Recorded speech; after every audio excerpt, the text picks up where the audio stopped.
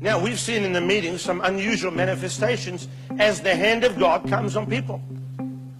People come to me and said, Well, that's the devil. I said, You don't know God. If you think that's the devil, you have more faith in the devil's ability to come into a Holy Ghost service and do things. I've got more faith in Almighty God, the creator of heaven and earth. Can you say amen? Rodney Howard Browne. Long, long, long, long, long time friend of mine. If you close your eyes and put your eyes on Jesus, the Lord will come touch you. I'm telling you. And then you'll be mocked. You'll be mocked. You will never be able to get rid of it. So I ministered. It was fun. We had just, just a great time. And Rodney Howard, Dr. Rodney Howard Browne spoke on Friday night. And I got undone, man. Dr. Browne came over. He was touching people. It was a mess. And I was just sitting there, and he puts his hand on my arm and he went, You made it through the fire. But something came in in my stomach. And like, How old are you? Huh? 13. What's your name? The hand of God's on you. Five God's on you. God's going to use you. Power! I also listen to Rodney Howard Browne because he challenges me and he makes me think about things in a new way. I find that Rodney feeds me. You'll be mocked. You will never be able to get rid of it.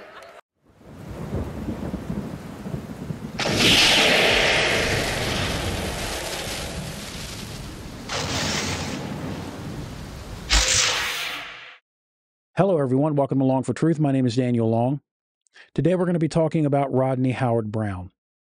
And, folks, I'm going to warn you right at the beginning this is going to be a difficult episode to get through because the clips that I am going to show you are very disturbing. In these clips, you're going to see Rodney Howard Browne um, doing what he does eh, to adults in his um, service services, if that's what you want to call them, uh, to children. And and you're also going to see him uh, teaching the prosperity gospel to children as well, um, grooming them to believe for whatever they want and to sow seed into the ministry so that they can receive things like a new Nintendo Switch, um, new tennis shoes, things like that. Evil, evil, evil stuff that you are about to witness. But I do hope that you'll be able to hold your nose and get through this so that if you know anyone who is caught up in this whole Rodney Howard Browne scene, that uh, you can send them this video and warn them. I received some information from uh, James Eppolito. Um, I didn't know who James was until a few days ago, um, but uh, he actually had some. He's the one that gave me these clips. Uh, he he he sent them to me, and James and I had a a good conversation, pretty long conversation uh, this morning, and uh, talked about this stuff. James was caught up in this movement. Um, and what we are actually what what we are actually going to be witnessing with these children is this thing called Kids Fire Week, River Tampa. And um, so this is a place where parents send their children. Rodney Howard Browne's there. All of his adult teachers are there grooming these children, and it just again, it's it's it's spiritual child abuse. It's exactly what this stuff is. I want to read just a little bit of the email that uh, James sent me because I think it will be eye opening. Now, James almost sent his kids to this thing. He actually, him and his wife actually had them registered. They were already registered the day before this thing took place. He said it, something just didn't feel right, and he he he he pulled them out. He said, you know, they're, they're not going. And so, good thing that he did that. But I want to read uh, some of the email that he sent. This is what it says in the email. They split the kids into two age groups, and this is the younger group starting at three years of age. Um, and I and I believe he's he's talking about uh, the the well, you'll see in the clip. Um, I've got a clip of this. Um, he says um, parents were not allowed in, so many of them have no idea about the reality of what was happening. And unfortunately, many of the parents have been indoctrinated into this terrible cult. I also heard that they have the kids fill out a survey asking them what kind of material items they want. I imagine that they do that so they can make a Nintendo Switch supernaturally appear to a kid who sowed a seed. So, seed faith theology being taught to the kids. Now, just in case you don't know who Rodney Howard Browne is, um, yeah, I, have done, Robin and I've done videos that um, t- uh, kind of give the history of Rodney Howard Browne. And uh, I will put uh, a video at the end of this, a card at the end of this video so that you can actually. Uh, if you if you want more information, but I'll just I'm just going to give you kind of a thumbnail sketch here uh, of who Rodney Howard Browne actually is. In 1993, Karl Strader, a pastor in the Assemblies of God, invite, invited Rodney Howard Browne to hold revival meetings at Carpenter's home church in Lakeland, Florida. The church can seat 10,000, but at this point, the congregation numbers less than 2,000. Strader arranges broadcasts of the meetings on radio and TV, and within a month, nightly services are attracting an average 8,000 people. Some such services last until 2 a.m. By the end of Howard Browne's visit, it is estimated that 100,000 people had attended from a wide range of countries in, in Africa, South America, and Europe. And so this is a clip at the Carpenter's Home Church, 1993. Rodney Howard Browne, right as uh, he's getting really famous with uh, the whole laughing revival thing. Watch this. We want to let you know that you're listening to the service live from the Carpenter's Home Church here in Lakeland, Florida. Right now, evangelist Rodney Howard Browne is ministering to the audience. He is actually walking through the audience, calling people out of the audience, and as he says the word filled, he is talking about being filled with the Holy Spirit. When they lift their hands, he speaks the word, be filled with the Holy Spirit, and they're being slain right there in their seats. Some of them falling into the aisle, some of them on their face, some of them on their back all of them being hit with holy laughter. It's exciting. We take you now back live to the service at the Carpenter's Home Church with evangelist Rodney Howard Browne as the revival continues. Nowhere in Scripture is holy laughter even a thing. Nowhere. You won't find it in the Bible. The Holy Spirit, He doesn't cause people to um, fall on their faces laughing uncontrollably. Um, now, Howard Browne was also very instrumental in the Toronto Blessing, and that's because of Randy Clark. Randy Clark's actually the one that got the got the thing rolling, the Toronto Blessing rolling. But Rodney Howard Browne is instrumental because he gave the impartation to Randy Clark. Close to a nervous breakdown, having pursued a tough but relatively unfruitful ministry at Vineyard Christian Fellowship in St. Louis, Missouri, Randy Clark attended a Rodney Howard Browne meeting at Kenneth Hagin's Rhema Bible Church in Tulsa, Oklahoma. He is initially skeptical of both the laughter and the falling which, characteri- uh, which characterize the event. He is also seriously troubled by the word faith context. Despite this, Clark senses God rebuking him and telling him, quote, You have a denominational spirit. How badly do you want to be touched afresh? End quote. And here is Randy Clark telling the story himself. His name was Rodney Howard Browne. You went to his meeting because you were just plain desperate for, you had tasted God, but you wanted what you had previously tasted, but you wanted more. And, right. uh, and so I understand you were fasting, you were seeking God. You go right. to this meeting, and he puts his hand on you. Fire, lightning, uh, Moses. What no. happened? It's actually different because in the earlier impartation I received, through uh, a guy prayed for me. Actually, he didn't even touch me. He just prayed from the from the platform. I felt fire, electricity, shook. Uh, Were you scared? Uh, yes, because I was ne- I never felt more than tears when I feel God's love. I yes. would get teary eyed, but I never felt power like this, and that was scary. And then in '89, that was '84, '89, I had an experience where I I was afraid I was going to die. The power was so strong that I literally was fearful I was going to die. Did you it. ask God to stop the power? No, I knew I, did, I didn't want to ask him to stop, but I said, God, you're scaring me. I don't think you want to kill me, but are you aware that you turn up the power? You, I'm afraid you're going to. And, but this was 90, summer of 93. And I was expecting a similarity to that, Right. but it didn't happen. I just fell down. I couldn't stand up anymore. And I thought, well, this is psychological suggestion because I don't feel any electricity, any power, any heat, any energy. But when I tried to get up, I couldn't. You could not physically get off the ground once Yeah. you were down. Did you try? Yes. And, and what would happen? You just Nothing. You just felt like a, a tremendous weight was was was on me, and I and I realized, and it had been in the things of God enough to know that I shouldn't resist this. I should yield uh, But, but if you had resisted, do you think you could have just got up? Not the first one. The others, I the others I could. It was different. The other four times he prayed for me, I, f- I couldn't stand up. I felt, but I could have got up qu- uh, Quicker. quicker.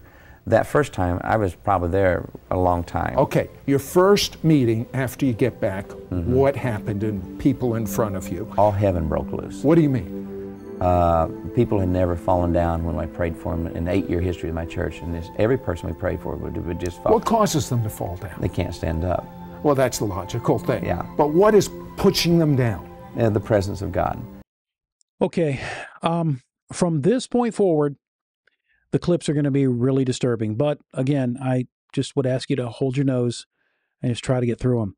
In this clip, you're going to be seeing Rodney Howard Browne praying for, praying for. Th- what he's doing is not prayer.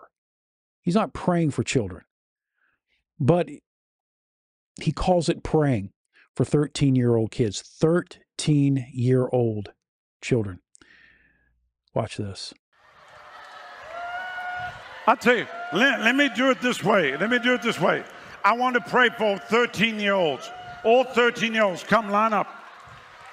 Come. 13. 13, come.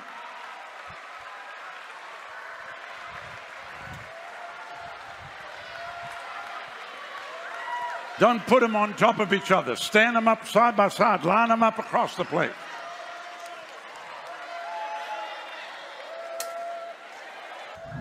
Listen to me. Look at me. The hand of God's on you in a powerful way. God's sealing that here tonight. Now, in Jesus' name, upon your life, in the name of the Lord, in the name of Jesus, in the name of Jesus. Yeah. In the name of the Lord, in the name, in the name of Jesus. Now, from the top of your head. Now, fire. The fire. Fire! Fire! Fire!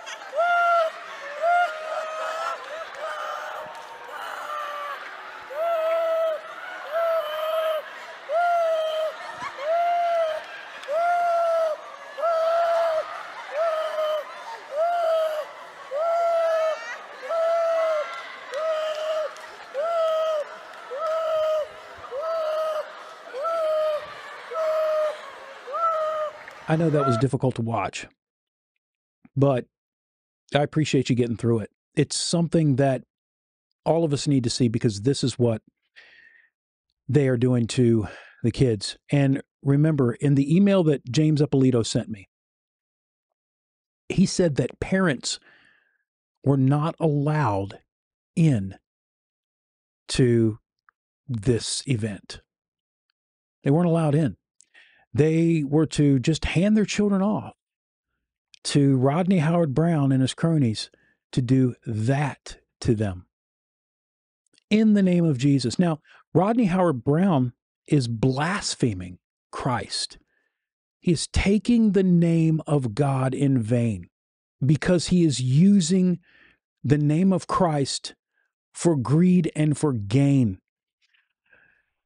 Uh, this next, uh, the next few clips is um, a teacher. I am not sure who this is, to be honest with you, but he is one of the teachers in this event. He's teaching children seed faith doctrine. Watch this. Let me ask you a question, boys and girls. Is there anybody in this room that's believing God for something? Can I tell you something that you can actually believe God and he will come through for you because that's who he is. He's a generous God. He's a miracle working God. He's your heavenly father. Can I get an amen? But you have to understand something, boys and girls. When you have something that's little and you put it in the master's hand and you pour it out and you give it onto Jesus, guess what God's going to do? He's going to multiply it. Because God is a God of multiplication. He's a God that adds things to you. The Bible says in Matthew 6 33, seek first the kingdom of God and his righteousness. Come on, who knows that scripture? Anybody? Come on, seek first. Seek first the kingdom of God and his righteousness, and all these things will be added unto you. So that tells you that God wants to add it to you and multiply it back to you. Isn't that amazing? He's a good God. But you have to understand something. You have to pour it. You have to sow it. Remember, every harvest has a what? A seed. If I want a sunflower, what do I need to sow, boys? A seed. You sow a seed, you're going to get a harvest. It's very simple. It's very basic. But when you do it, you got to remember Luke 6:38, give and it shall be given back to you. Come on, good measure, pressed down, shaken together and running over in the same measure that you give, God says I will give it back unto you, right? So how do you think Jesus feels about little children? Compared to how Rodney Howard Browne and his disciples feel about little children. Well, let me just remind you how Jesus feels about little children. This is an incident in the Gospel of Mark where the disciples were rebuking people for bringing children to Jesus. This is what it says. And they were bringing children to him that he might touch them, and the disciples rebuked them. But when Jesus saw it, he was indignant and said to them, Let the children come to me, do not hinder them, for to such belongs the kingdom of God. Truly I say to you, whoever does not receive the kingdom of God like a child shall not enter it. And he took them in his arms and blessed them, laying his hands on them. Now, if you thought the last clip was bad, wait till you see what's in this clip. Come on, who needs some breakthrough tonight? Who's believing God for like a Nintendo Switch? Who's believing God for an Xbox or a PS4 or a new bicycle or a scooter? Come on. Who's believing for something? Listen, you can go to your Heavenly Father, but you have to remember something, boys and girls. God is looking for obedience. Turn to your neighbor and say, Obedience. He's looking for obedience. Let me ask you a question, boys and girls. Who wants to do it God's way? Anybody want to do it God's way? Because when you do it His way, blessings will flow to you. But when you're disobedient and you don't do exactly what God says, will blessings flow?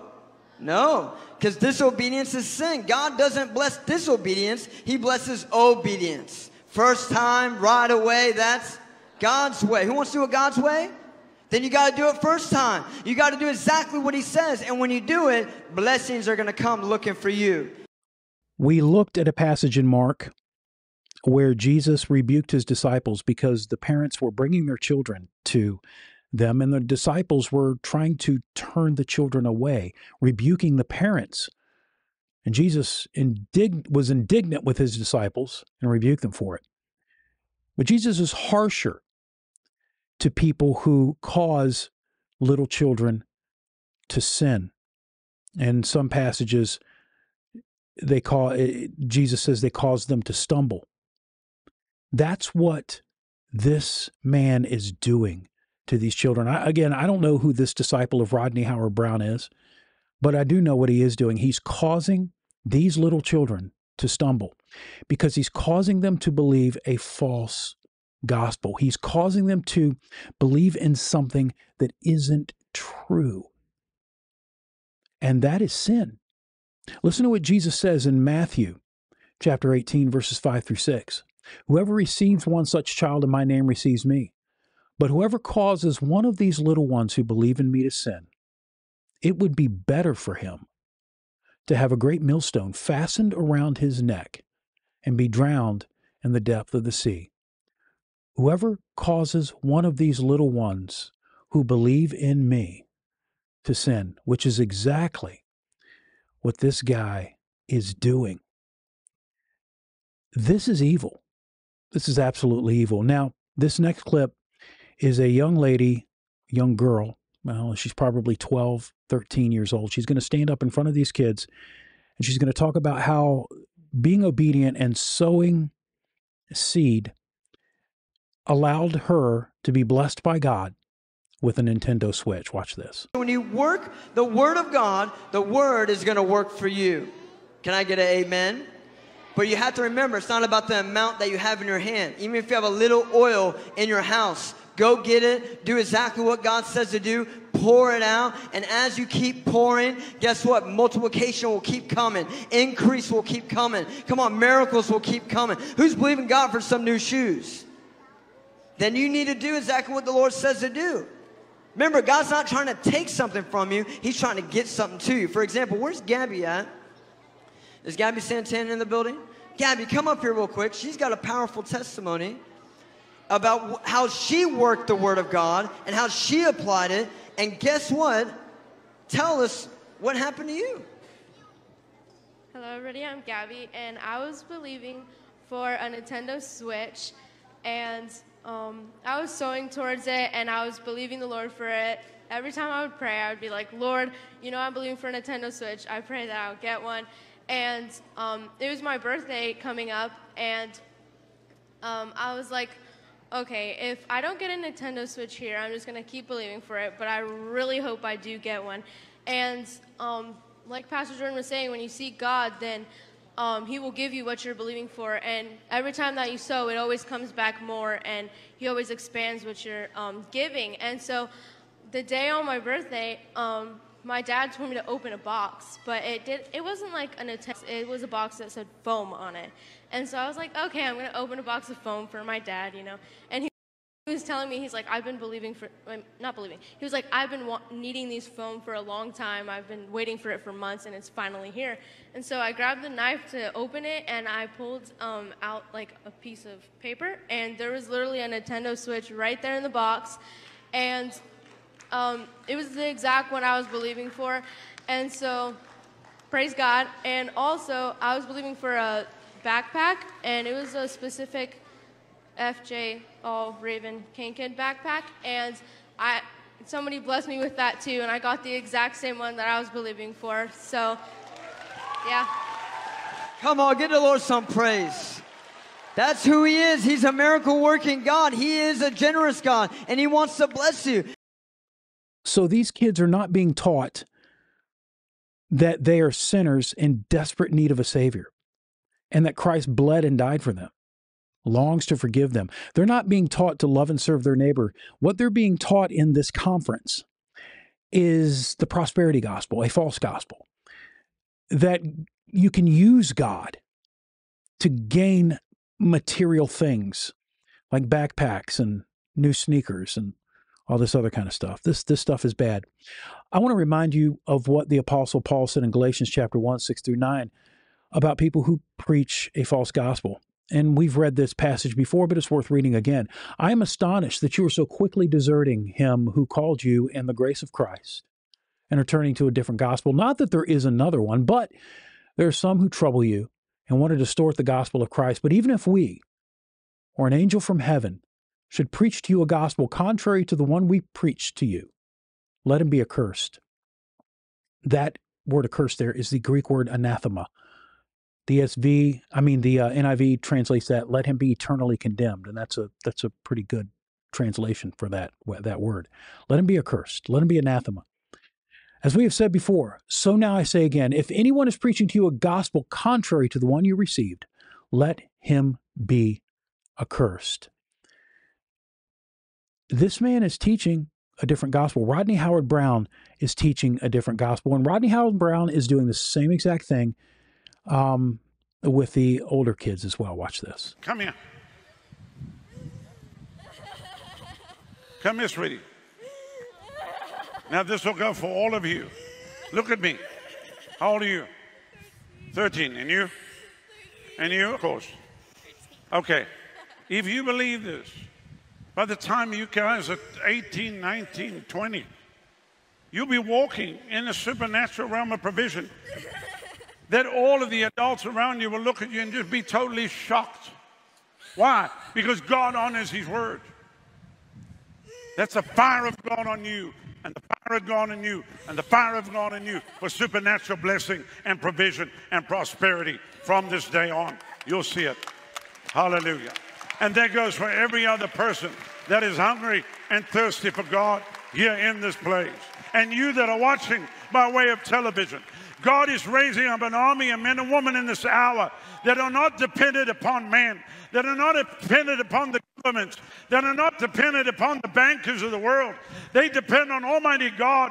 El Shaddai, the God that is more than enough, the all sufficient one, the God of plenty, and He's a waymaker. He can come he can walk prakanda, rakosandre, ripa dandre, sopraya, water from the rock, oil oil that will never run dry, the meal that will never fail, text money from a fish's mouth, water turned to wine, loaves and fishes multiplied. Everywhere you go, you see the miraculous, supernatural provision of God. And it's got nothing to do with your bank account and how much money you have in your bank account because the blessing you walk in cannot be put in the banks. Hallelujah. Gloria a Dios.